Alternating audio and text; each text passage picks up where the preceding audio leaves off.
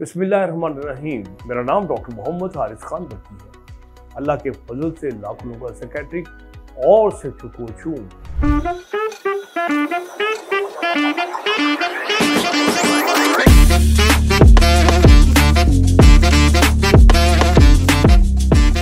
हमारे sexual health में एक बहुत बड़ा मसला होता है कि हम लोग ये जानना चाहते हैं कि किसी को प्रॉब्लम जो आ रहा है इरेक्टाइल डिस्फंक्शन का यानी कि मर्दाना कमज़ोरी का वो क्या जेन की पैदावार है?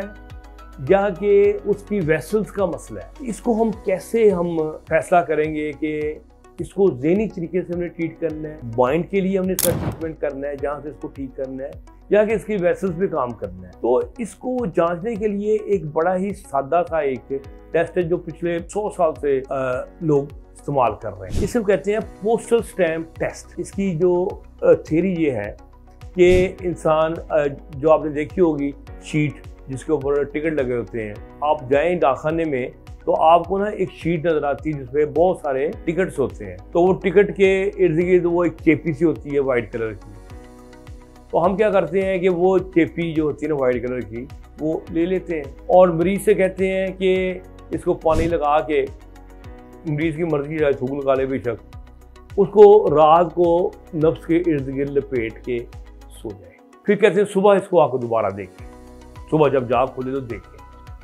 अगर तो वो स्टैंप जो है, वो जो टेपी है, फट गई है तो इसका मतलब ये है कि आपको इरेक्टल डिस्फंक्शन अगर था तो वो जहनी तौर पे था। और अगर वो चेपी जो है, फटी नहीं मिलती, उसी हालत में मिलती है तो इसका मतलब है कि आपका जो इरेक्टल डिस्फंक्शन है वो वेसल्स की वजह से। रात को जब हम सोते हैं और जब हम ख्वाब की हालत में जाते हैं, ठीक है?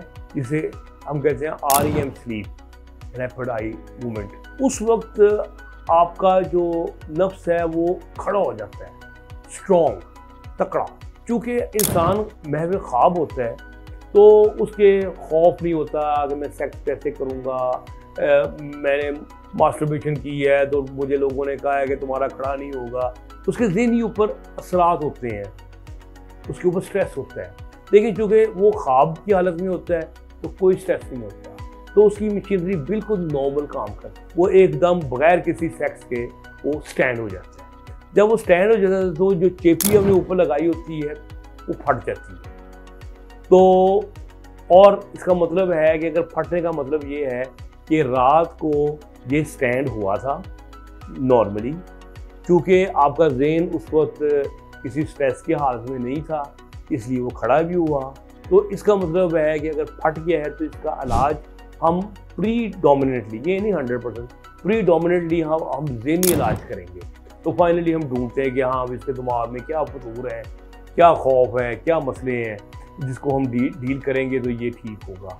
तो ये कहलाता है postal stamp test for erectile dysfunction ये फैसला करता है कि किसी को इरेक्टल डिस्फंक्शन साइकोजेनिक है या कि ऑर्गेनिक उम्मीद है ये मेरी ये इन्फॉर्मेशन लोगों को बड़ी मुफीद साबित होगी और आप लोगों की बहुत काम आएगी। मेरी वीडियो को शेयर करें, आपके कमेंट्स मेरे लिए बहुत वैल्यूबल हैं। तो खुश रहें, खुशियाँ बांटें, डॉक्टर बर्क की इजाज़त दें। अल्लाह हाफिज़।